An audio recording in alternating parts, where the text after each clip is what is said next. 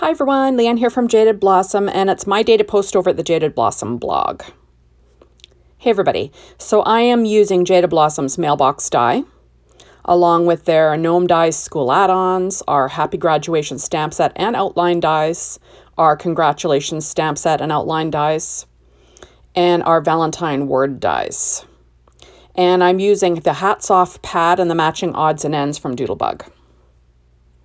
So this is the little um, our mailbox die that I put together in my last video. And I'm just going to add some ribbon to it. So that is just some one and a half inch grosgrain ribbon. And that is twine from my mind's eye. It's together twine, happy-go-lucky together twine.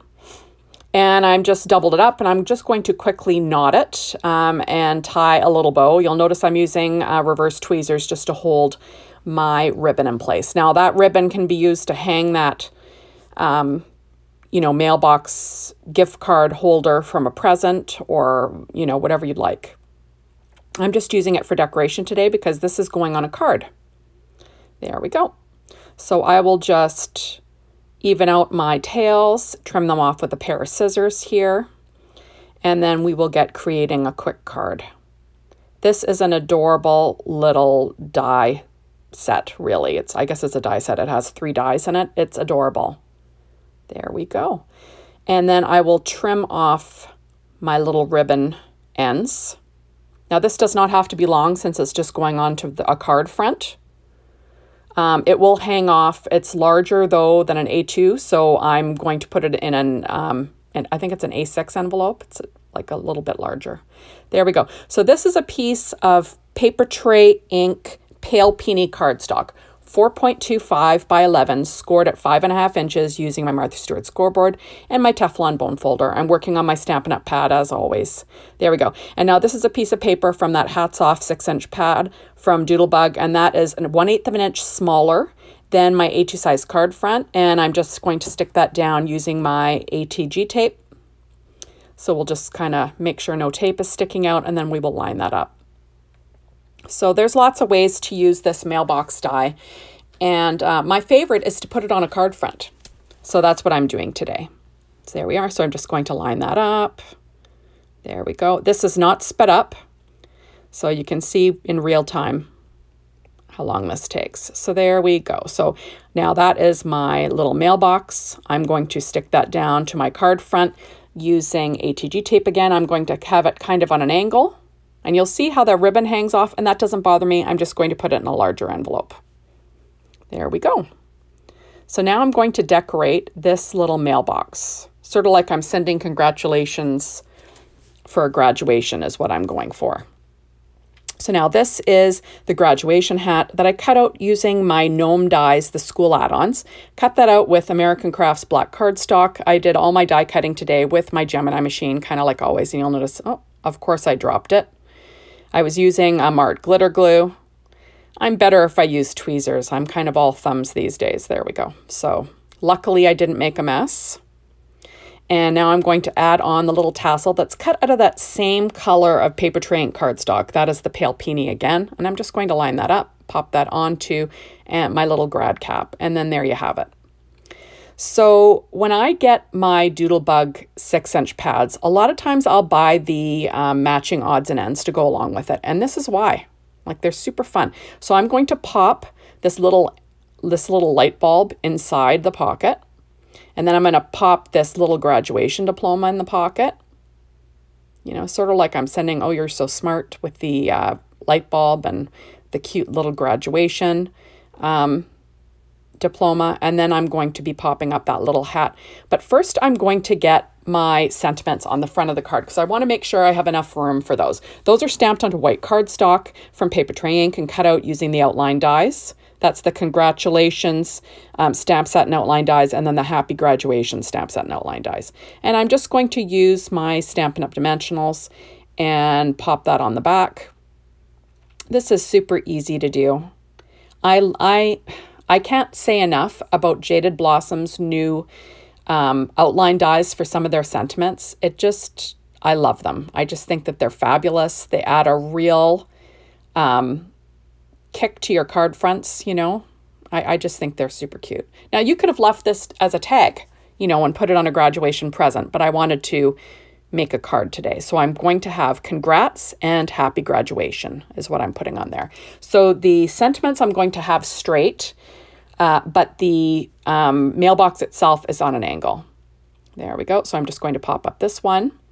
And then I cut out the ampersand um, from Jaded Blossoms uh, Valentine, Valentine, Valentine, Valentine word dies. And I cut that out of black cardstock from American Crafts also. I like American Crafts cardstock uh, for die cutting. I like the texture.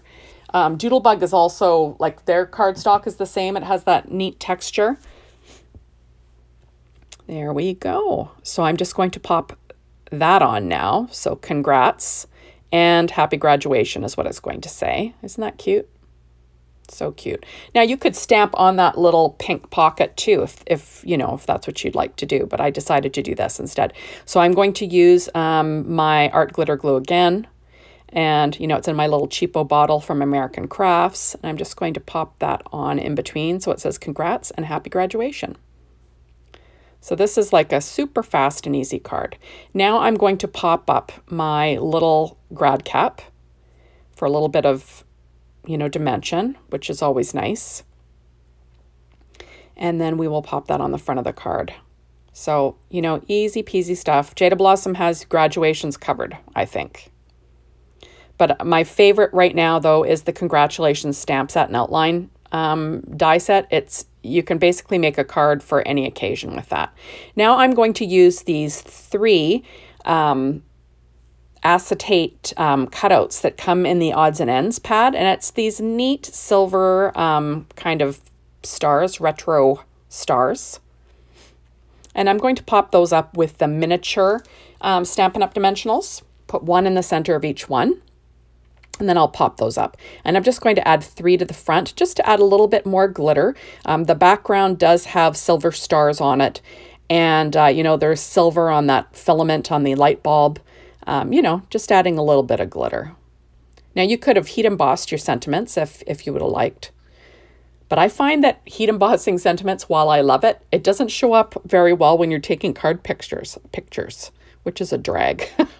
Beautiful when people get it though. They always love that. But, you know, when you're taking card pictures, it doesn't really show up that great on a card picture. So hopefully these acetate um, stars show up in my in my pictures because they're really shiny and pretty.